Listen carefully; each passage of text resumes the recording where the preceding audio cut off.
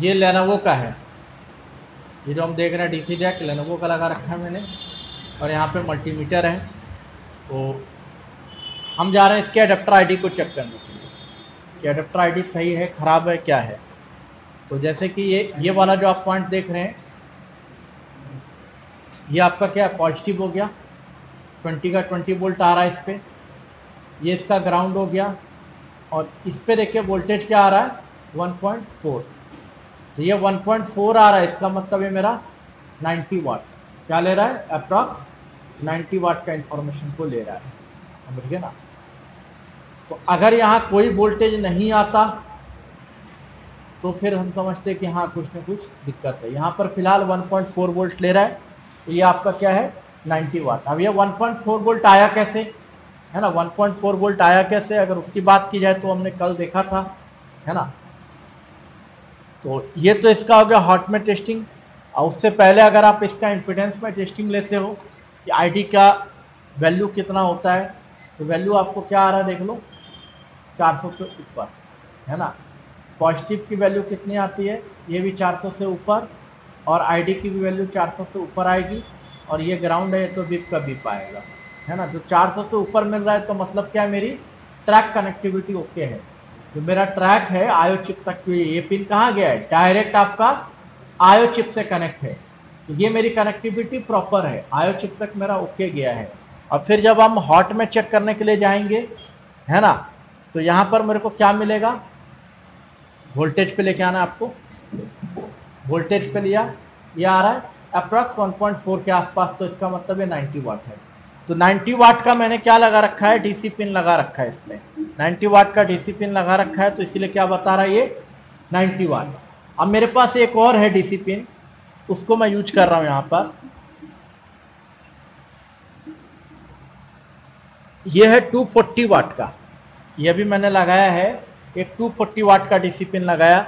उसके हिसाब से यहाँ पर देखते हैं वोल्टेज जो आ रहा है, वो सही आ रहा है कि गलत आ रहा है। देखिए यहाँ पर लगाया मैंने, वोल्टेज बता रहा है 2.9 वोल्ट। तो ये मेरे को सही मिल रहा है। ये 2.9 के आसपास सही है।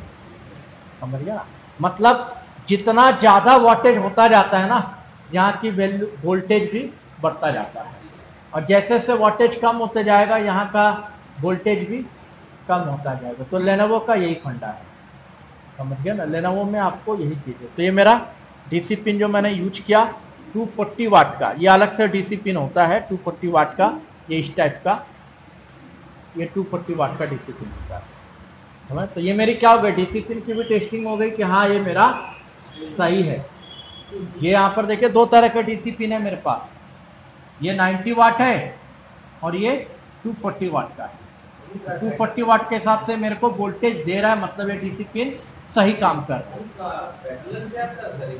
ये आपको अलग से मार्केट में परचेज करना है। ना? टू फोर्टी इस पे इमेज दिखा देते हैं। ये आपका आईडी पिन है। हाँ। ये आईडी पिन पे मैं आपको वोल्टेज चेक करवा रहा था। 90 वाट के हिसाब से 1.4 वोल्ट आ रहा है और 240 वाट के हिसाब से 2.9 वोल्ट आ रहा है। अगर मैं जैसे से वोल्टेज में चेंजेस करूँगा तो यहाँ का वोल्टेज भी क्या हो जाएगा? कम ज़्यादा होता रहेगा। अगर मान लीजिए हाई वोल्टेज है तो वोल्टेज ज़्यादा वोल्टेज कम है तो वोल्टेज कम। उसको भी हम अभी प्रूफ करेंगे। ये ये देख रहे हैं ये सेट है। लेकिन ये सेट ऐसे मार्केट में आता नहीं टू फोर्टी वाट का है। तो मेरे पास है, ये पूरा सेट है मेरे पास। अब इसकी कंबाइंड कीमत जोड़ू तो काफ़ी हो जाएगी। ये देखो। तो इसमें लेनोवो वाला, ये वाला जो है, ये वाला, ये 240 फोर्टी वाट का है आपको। समझ गया ना? यहीं पे एक साइट है, इसकी कंबाइंड कीमत कितना बता रहा है? देख लो। सोलह सौ पिचानवे। तो ये वाला जो डीसी पिन है ना, ये डीसी पिन मेरा उसमें काम कर जाएगा। अगर कोई गेमिंग लैपटॉप 240 तक का आता है तो उसमें मेरा काम कर जाएगा। समझ गया ना?